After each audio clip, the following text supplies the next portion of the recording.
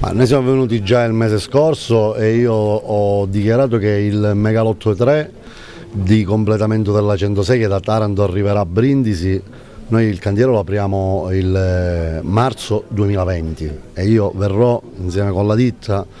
eh, non solo ad inaugurare il campo base che eh, sarà i primi di febbraio, ma poi ad, ad avviare finalmente i lavori e vedere le ruspe in azione per costruire e questo è un fatto secondo me importante. Oggi stiamo continuando a parlare di infrastrutture in una regione che invece ha grandi deficit eh, e devono essere affrontati. Io da uomo del sud non, non mollo la, la, la, questione ANAS che eh, sto facendo davvero correre e tanto, ma devo dire che con Simonini, con l'amministratore delegato abbiamo trovato davvero un'intesa eccezionale perché la Calabria ha bisogno di risposte concrete e di risposte vere. Oggi abbiamo analizzato la strada del, me del Medio Savuto, Savuto che eh, ha un nome incredibile, la strada che non c'è, perché è una strada progettata ma che non è stata mai realizzata. Sembra una presa in giro in un'Italia meridionale che è davvero stata dimenticata. E queste sono le risposte che dobbiamo dare. Qualcuno dirà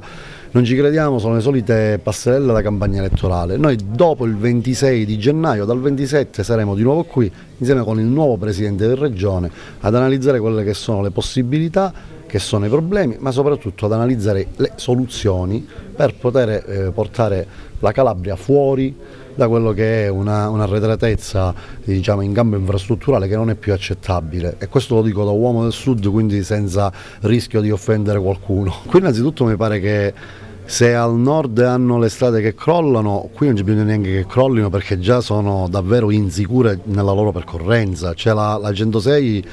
è davvero una, una strada terribile, eh, cioè non è accettabile che una strada statale, quindi dello Stato, sia in queste condizioni. Dobbiamo intervenire lì, ci sono tanti soldi in questo momento messi a disposizione per le progettazioni, devono partire immediatamente lavori, quindi dobbiamo tagliare i tempi. Una delle richieste che ho fatto al Ministro De Micheli ad esempio è che la 106 ionica fino a Crotone venga inserita nelle opere da commissariare senza lo sblocca cantieri, cioè avere più velocità di intervento secondo me proprio per andare a far vedere ai cittadini di quella parte della Calabria che in questi mesi che ho visitato ho visto che esiste la Calabria e l'altra Calabria, quella che un attimino ancora più indietro e, che, e questa cosa è inaccettabile ovviamente, quindi intervenire lì. Poi i treni, eh, l'alta velocità non si può fermare a Salerno, io ho parlato sia con Italo che con RFI, cioè con Trenitalia, dobbiamo cominciare a lanciare messaggi positivi. Da Reggio Calabria si deve arrivare a Milano e questa cosa eh, con Italo la facciamo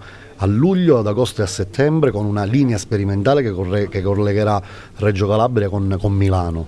e con eh, un freccia argento dedicato, senza bisogno quindi di cambiare a, a, Roma, ma da Reggio Calabria fino a Milano, anche Trenitalia mi sta dando rassicurazioni per creare la terza coppia che si unisce alle altre due che ci sono in questo momento, che invece fanno eh, capolinea a Roma. Quindi stiamo cercando di portare ecco, la Calabria all'interno di un sistema di anche di alta velocità ferroviaria che è importante. Ci sono chiaramente grandi interventi, un miliardo e tre appunto sulla Ionica per l'autostrada, due miliardi miliardi e tre l'intervento invece sulla linea ferroviaria che deve vedere delle velocizzazioni, anche lì insomma sono degli interventi importanti che ci danno anche il senso di come questo governo secondo me stia guardando al sud Italia finalmente con, con grande praticità, con grande attenzione. Le parole di Conte eh, e che ha voluto poi in qualche modo nel, eh, nel, nella legge di bilancio affinare eh, rispetto al meridione sono molto importanti perché guardate che molti non se ne sono accorti, ma voi che